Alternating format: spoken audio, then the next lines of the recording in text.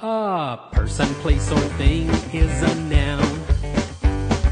A person, place, or thing is a noun.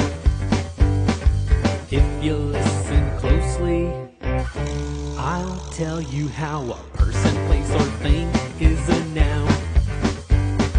A noun can be any kind of person, like your mama or your daddy or a policeman. A noun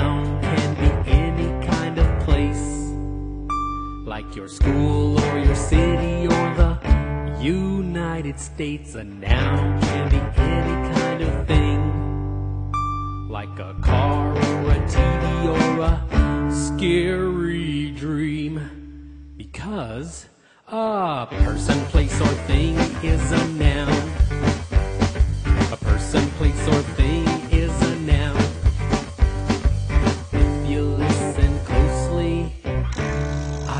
tell you how uh, a person, place, or thing is a noun. A person, place, or thing is a noun. A person, place, or thing is a noun. A person, place, or thing is a noun. A person, place, or thing is a